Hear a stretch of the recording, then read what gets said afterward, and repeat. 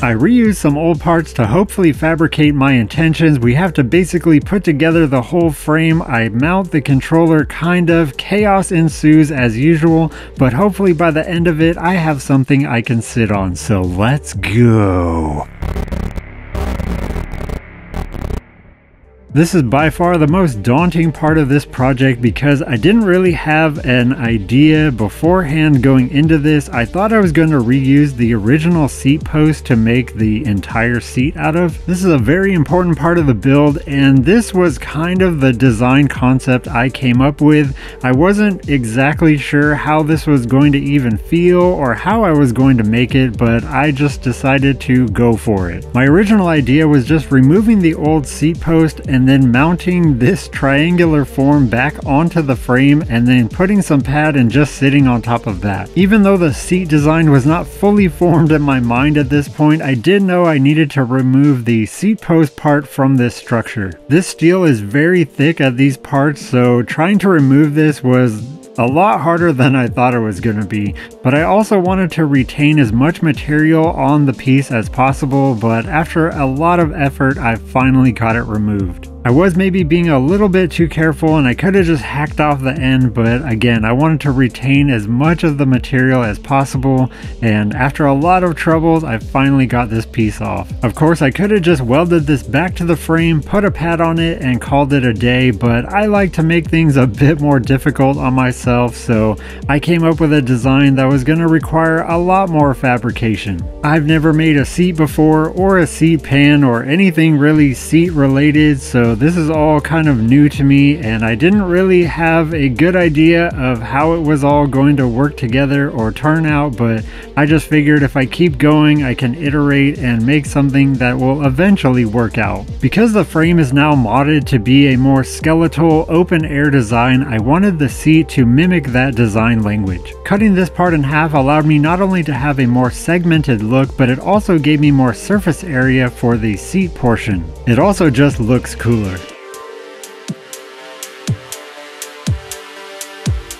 Because I got a bigger battery, that means I could use a bigger controller on this build, and this is the SVMC 72200, which is a 200 amp controller, so I should be able to utilize the power of that giant battery. I figured it might be a good idea if I just weld the bolts into the frame, that way if I ever need to remove the controller, I don't have to pull out the entire battery to do it. I would have just mounted the controller in the last episode, but I had to wait for these bolts to arrive. These are the exact length bolts that I need to hold the controller on because I bought them exactly for this purpose. The controller mounts up perfectly fine, although after more testing from this video, I do think I want to shift it back more, but we can address that in a future episode.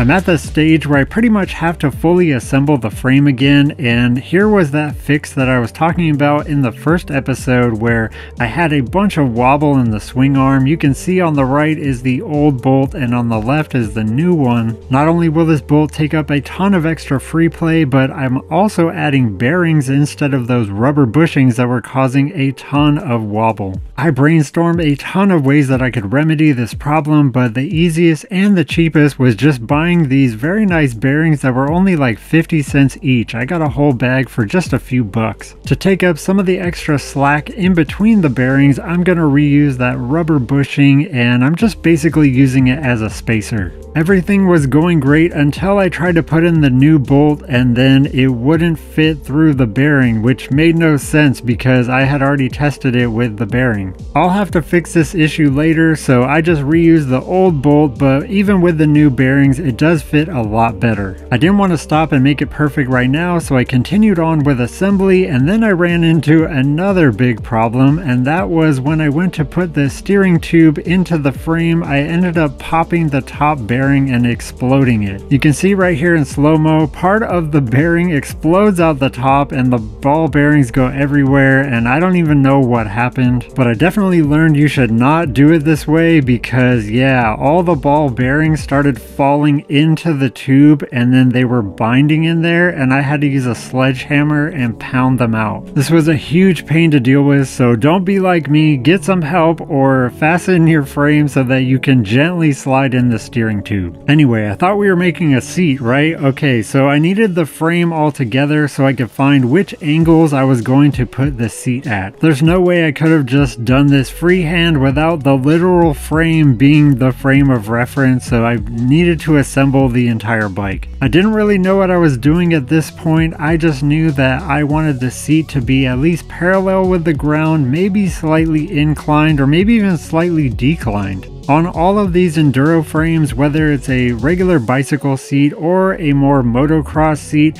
they always have the backs of the seats like way up in the air. Also with those motocross seats that are way high in the back, they basically slide you down to the center of the frame, which I'm sure is good for like off-road performance, but I'm not going to be doing a ton of that, so I wanted something that looked cool and was going to be maybe a bit more comfortable. Again, I don't really know what I'm doing and it's very possible I have to remake this seat three, four, or five times to get it right, but I gotta build it at least once to know what I want to change. One of the hardest parts of making the seat was just how many options I had available in terms of materials and designs. I could have made the seat pan out of wood, I could have made it out of plastic, I could have made it just a ton of different things. I'm definitely the type that can get stuck in analysis paralysis and maybe spend way too much time in the virtual engineering room and that's not always a good thing because it can prevent you from making some progress on your project. So I figured I kind of have an idea of how I want it to be and hopefully it works out, but I'm just going to keep going and iterating on this until it is the way that I want it. I figured if I just throw some bars up there, then I can mount the seat plate to it and then kind of sit on it and get a feel for what was going to be the most comfortable. So first I got to get some bars on this frame to even hold something somewhere. All these measurements at this point are kind of just my best guess, so I'm just going to go from here. It's time to fix that exploded bearing that unfortunately happened to me earlier and all I had to do was put all the tiny little balls back into the race and then seal it up and it was kind of shocking just how easily these would have come out at any time so I must have been very gentle putting the steering tube in all the other times that I have done this. I definitely learned my lesson and hopefully you guys can learn from my mistakes so be very gentle when putting your forks into your frame especially with the top bearing. I do need this to be installed correctly because any variance in the angle at the front mount will change where my seat position is going to be, so I need the frame to be as complete as possible. This seat plate steel is very thick and that means it's very heavy, so I'm trying to trim down as much of it as I can so that I'm not just hanging off a bunch of extra weight that I don't need. I could have left these side pieces a bit longer, but I figured it's probably a good idea if I do cut them down and I think it actually looks a little bit better. This whole time I've owned this frame, which has been many years now, now, I just assumed that these three little slots on either side of the seat post were symmetrical, but they are not, which is definitely strange on why they made it this way, but they did. So my seat post has offset asymmetrical slots in it, and I guess I'm okay with that. Magnets are a good way to hold your pieces in place while you're tacking, but I've given up on that with all these crazy angles because the magnets just make my life harder, so I'm using the tape method which did work fine before. Most of my clips are severely sped up, but I wanted to show you this in real time so you can just really get a feel for how aggravating it can be when you don't really know what you're doing with welding and you can't exactly get the right angle and it takes you like a minute or two to even just try to find where you're gonna tack it without bumping anything. You have all your pieces aligned just how you want them, you get the right approach angle, you're finally ready to make your first tack and just seal everything in its correct place and show the world how incredible you are at welding. So then you get pissed off, you spend about 15 minutes clamping the crap out of everything so that nothing can move, and then you make your one second tack, and then everything's great. And it's just so easy, and welding is super fun and totally not frustrating at all. But on a more serious note, I should have probably been using clamps this whole time for this whole project because it does make things a lot easier. Eventually I'll be like those guys that hold like five pieces with their bare hand and then tack like a hundred things in like a span of a second, but I'm not there yet. I know one side isn't a true test, but it was enough for me to get more in the ballpark of where I wanted things and sliding this back quite a bit was a lot more comfortable. I was pretty happy with the angle, it wasn't too high and sliding me into the frame and it wasn't too low and as you can see I didn't like how these were so far outwards. I didn't want the edges protruding too far out from the frame and this line is about where they do and I didn't need it to be perfect but I decided instead of just cutting them off flat I could try to bend them. I would really love to invest in a brake and be able to make very clean bends in sheet metal but I don't have one of those right now so I'm just putting in some pretty deep score marks and bending it with my trusty vice grips. Because of that, these bends came out a bit more crude than I would have liked, but they are at least in the correct shape that I wanted, they're just not as clean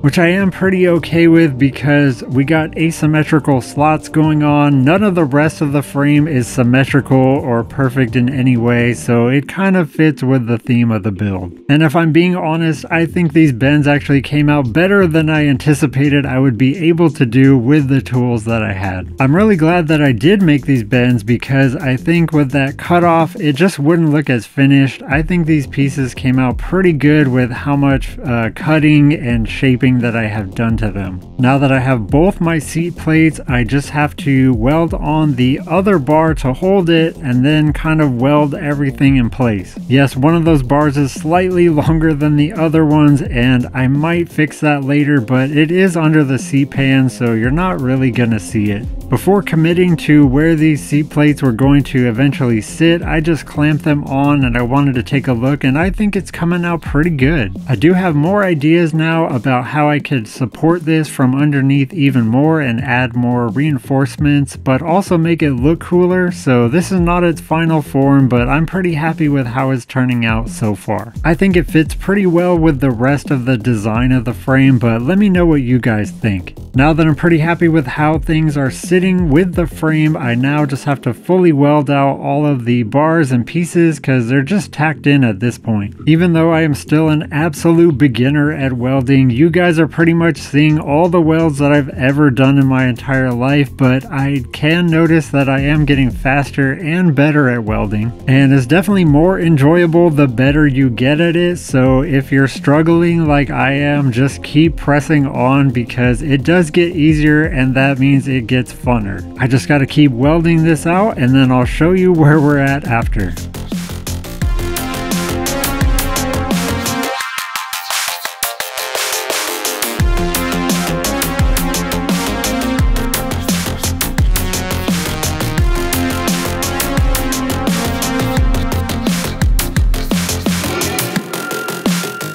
And I pretty much ran out of time over the weekend for welding. I did want to get further along, but for mounting these back plates on, I could only really tack them.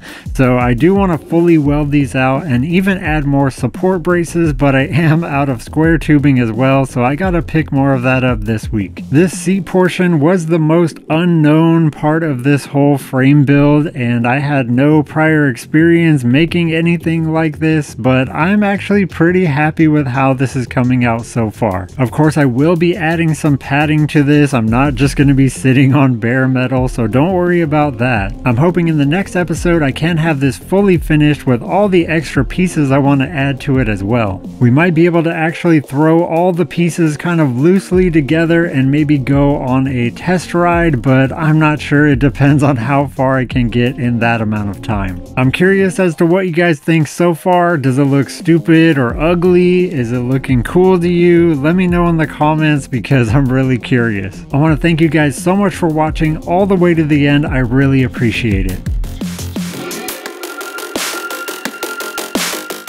As always, I have a ton more projects lined up for you guys. Thanks again for watching, and I will see you in the next one.